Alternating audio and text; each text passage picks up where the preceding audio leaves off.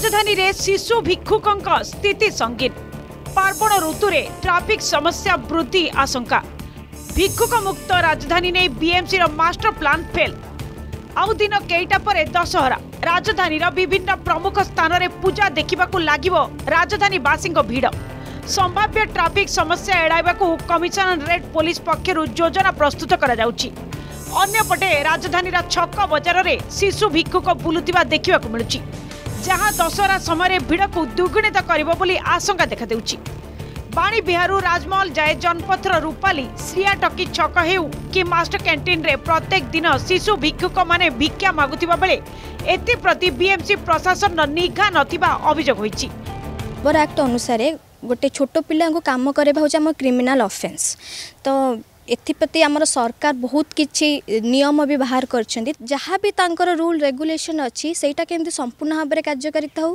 ତାଠୁ ସବୁଠୁ ବଡ଼ ଜିନିଷ ହେଉଛି ଲୋକମାନଙ୍କ ଭିତରେ ସଚେତନା ରହୁ କି ଆମ ଚାରି ପାଖରେ କେମିତି ଏଇ ଯେଉଁ ବାଳ ଶ୍ରମିକ ଜିନିଷଟା ନ ରହୁ ସେଥିପ୍ରତି ସମସ୍ତେ ଦୃଷ୍ଟି ଦେବା ଦରକାର।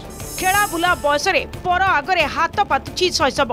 ପାଠପଢ଼ା ବଦଳରେ ଛୋଟ ଶିଶୁ କେଉଁଠି ଭିକ୍ଷା ମାଗୁଛି ତ ଆଉ କେଉଁଠି ବେଲୁନ ଏବଂ ପେନ୍ ଧରି ବିକ୍ରି କରୁଥିବାର ଦେଖିବାକୁ ମିଳୁଛି କେଇ ମାସ ତଳେ ବିଏମ୍ସି ସହ ମିଶି ଶିଶୁ ସୁରକ୍ଷା ଆୟୋଗ ପକ୍ଷରୁ ଏକ ସ୍ପେଶାଲ ଡ୍ରାଇଭ୍ ଆରମ୍ଭ କରାଯାଇଥିଲା ଯେଉଁଥିରେ ଛକ ଛକ ବୁଲି ଶିଶୁ ଭିକ୍ଷୁକମାନଙ୍କୁ ଉଦ୍ଧାର କରାଯିବା ସହିତ ସେମାନଙ୍କ କାଉନସେଲିଂ କରାଯାଉଥିଲା ତେବେ ଆରମ୍ଭର ମାତ୍ର କେଇ ଦିନ ପରେ ଏହି ଯୋଜନା ମାଟି କାମୁଡ଼ି ପଡ଼ିଥିବା ବେଳେ ସ୍ଥିତି ଯଥା ପୂର୍ବ ତଥା ପରପରି ଅନୁଭବ ହେଉଛି ଏସବୁ ଦ୍ୱାରା ଛୋଟ ଛୋଟ ପିଲାଙ୍କ ଭବିଷ୍ୟତ ନଷ୍ଟ ହେଉଥିବା ରାଜଧାନୀ ବାସିନ୍ଦାମାନେ କହିଛନ୍ତି।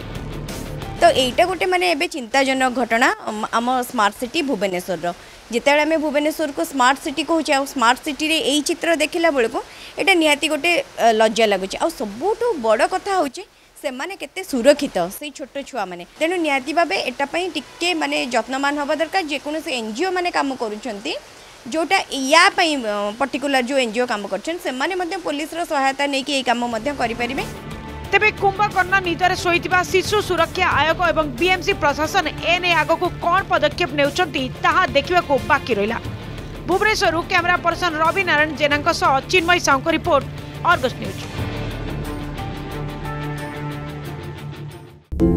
ଫେରିଛି ଆଷାଢ଼ ଶରତର ଶୁଭ୍ର ଆକାଶରେ ଦୋଳା ଦୋଳା ମେଘଙ୍କ ଲମ୍ବା ପଟୁଆର ମାଟିରେ କାଶତଣ୍ଟି ଫୁଲର ଚଅଁର।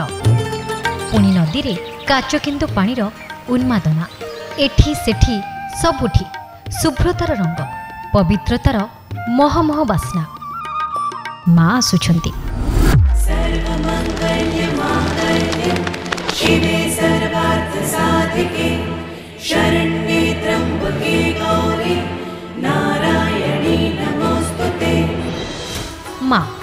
ସିଏ ଆଦ୍ୟ ଶକ୍ତି।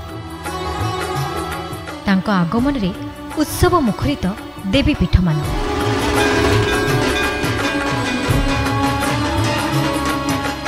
ପବିତ୍ର ଦଶହରା ଉପଲକ୍ଷେ ପୀଠର ଦେବୀମାନଙ୍କୁ ନେଇ ଅର୍ଗସ୍ ନ୍ୟୁଜ୍ର ସ୍ୱତନ୍ତ୍ର ଉପସ୍ଥାପନା ଶକ୍ତିପୀଠ।